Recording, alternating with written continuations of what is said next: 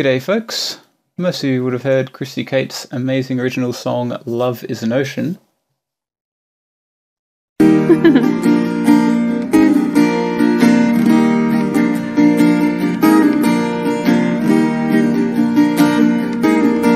Hi, Sam. Sometimes love melts into nothing like a statue made of sand. Watch it fall right through your hand. But have you ever heard it being played through five kilometers of ocean? No. Well, today is your lucky day.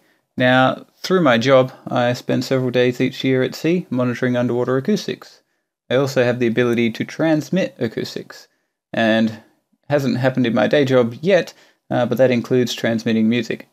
Now, to transmit audio, our acoustic modem takes a supplied audio signal and shifts it up in frequency, in this case by about 8 kHz. It does this so that it can transmit it efficiently over long distances. We then receive the high frequency audio in one of our remote underwater microphones, commonly called a hydrophone. And this is what the ocean sounds like, with Kristi Kates' Love is an Ocean playing over the top.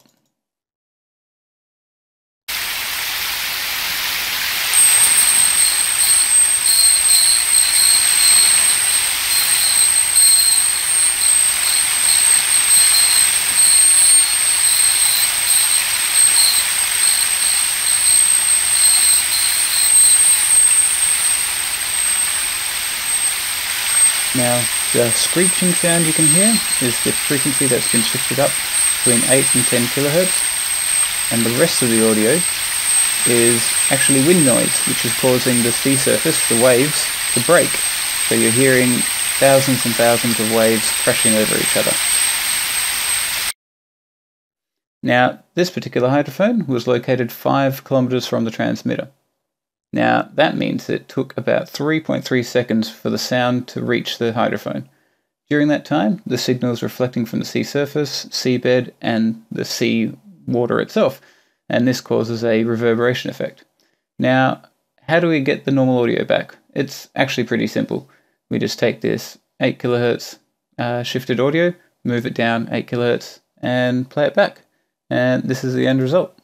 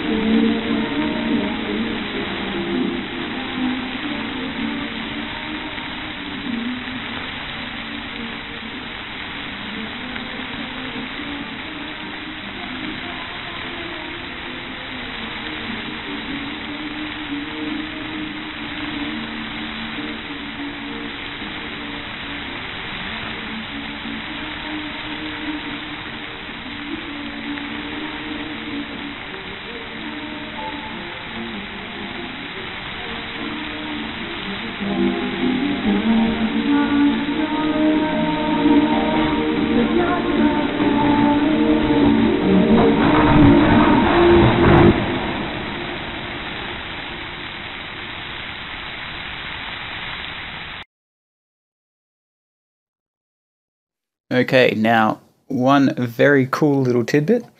Uh, if we go back in time about 10 minutes prior to where I was playing Kristi's song, down to about minute 27 here, and then zoom in on the low frequencies, so we're looking at below 200 hertz here,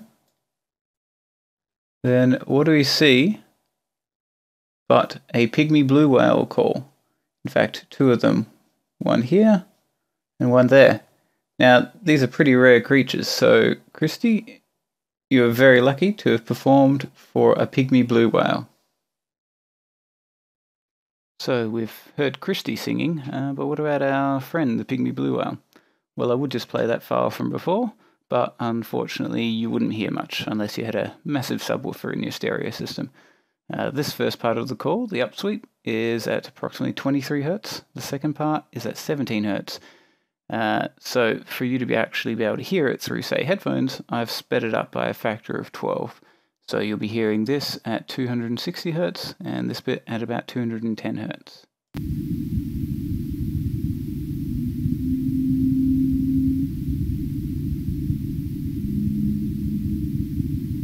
What is extra cool is not long after these recordings, we actually managed to locate this whale and I got a photo of it on the surface.